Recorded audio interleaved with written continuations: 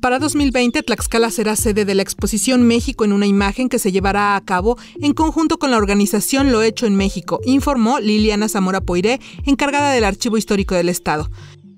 Y nosotros somos, seríamos por tercer año consecutivo la sede de esta exposición, porque desde el principio nos manifestamos que era de nuestro interés albergarla aquí por uno o dos meses, dependiendo, ¿no? porque esta exposición es itinerante, entonces va recorriendo varios estados de la República, pero nosotros tenemos la primicia de ser el primer estado en ofertarla al público.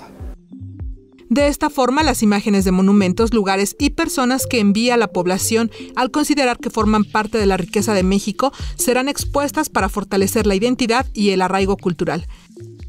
Y es una serie de fotografías que el público de México eh, realiza.